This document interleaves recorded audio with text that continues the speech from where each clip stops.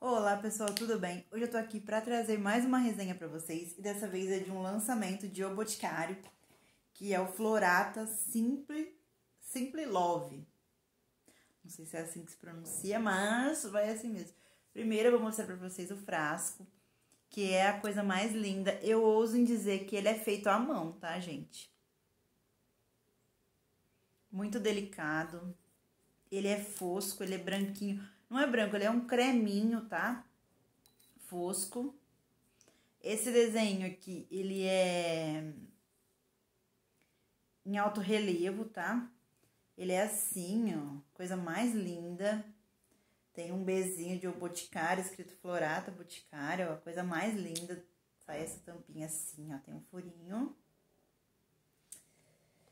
E a caixinha também, que é um mimo à parte, tá escrito assim: Simple Love.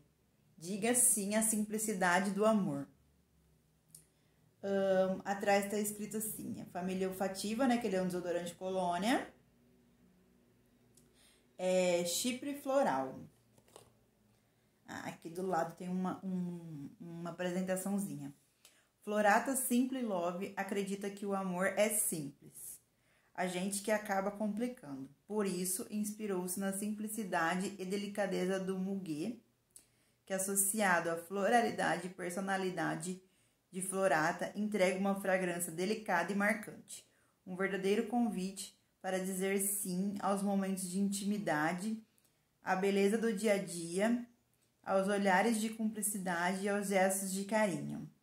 Florata Simple Love, diga sim à simplicidade do amor caixinha. Ai, que cheirosa. Também é, de um, é um creminho, né, a cor.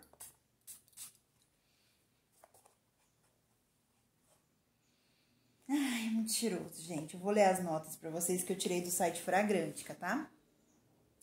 As notas de topo são frutas vermelhas, pêssego, tangerina, toranja e bergamota.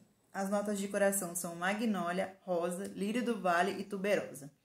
As notas de fundo são almíscar, patchouli, ládano, ládano, acho que é, âmbar, amêndoa e baunilha. Gente, na saída eu consigo sentir muito essas frutas vermelhas. Consigo sentir o pêssego também, até as frutas cítricas eu consigo sentir. Depois ele vai ficando mais floral, que aí você consegue sentir as flores. Aí depois, quando ele assenta na pele, ele fica. Eu não consigo sentir esse lado amadeirado. Ele fica pura baunilha. Eu consigo sentir a amêndoa e a baunilha. Gente, eu, ach, eu achei ele bem parecido, eu não sei. É, você que tem esse perfume, você que tem esses dois perfumes, diga pra mim aí nos comentários se você também consegue sentir. Eu senti uma, uma Assim, não que eles sejam iguais, mas eu senti que ele é bem parecido àquele Hair Store da Avon. Não o, o vermelhinho, o outro, o, o tradicional. Gente, quando ele assenta na pele, eu sinto pura baunilha. E já me vem na cabeça, assim, aquele, aquele Hair Store tradicional da Avon. Foi ele que veio na minha cabeça. Gente, eu senti muito o cheiro dele. Eu achei muito parecido. Muito, mas muito, muito parecido. Tipo, quando ele assenta, ele fica pura, pura baunilha. Eu não consigo sentir mais nenhuma nota nele, só a baunilha. Mas não é aquela baunilha enjoativa, sabe? É uma baunilha bem tranquila, é uma baunilha cremosa. Mas assim, você que não gosta de cheiro de baunilha, de nota de baunilha, eu acho que você não vai gostar desse perfume, tá? Você que não gosta de, dessa nota, Uh, em alguns perfumes ela não é tão evidente, mas nesse daqui a baunilha é muito, mas muito evidente, tá?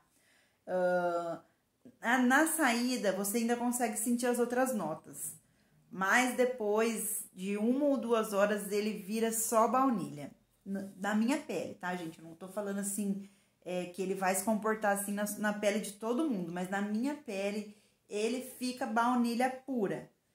Uh, e o que, que, eu tenho a dizer? Além de eu achar que ele é muito igual ao Hair Store da Avon, uh, Eu achei ele assim, um perfume que eu esperava mais. Ele não é um perfume ruim, ele é um perfume bom, ele fixa bem, ele fixa mais de 5 horas na minha pele. Eu passei ele hoje de manhã, eu ainda não, não reapliquei, eu ainda consigo sentir ele na, na minha roupa, sabe? Ele é um perfume que fixa muito bem.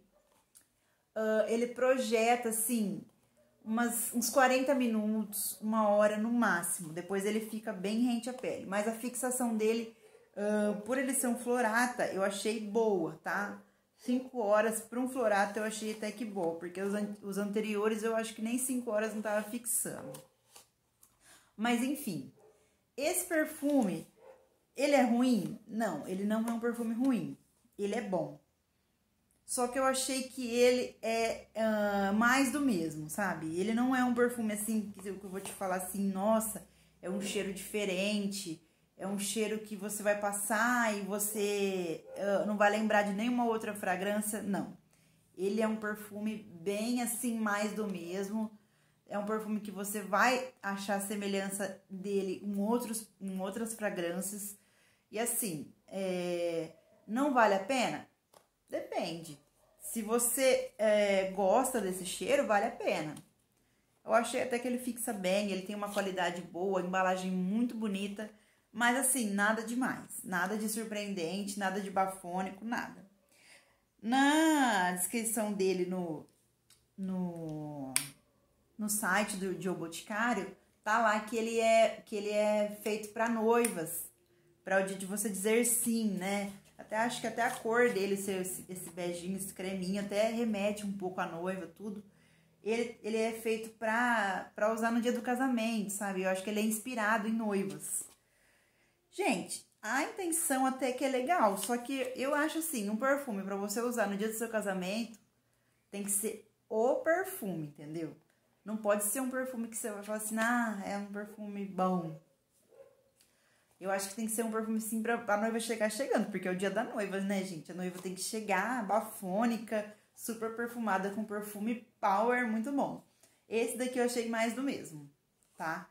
Não achei que seria o perfume que eu usaria no dia do meu casamento.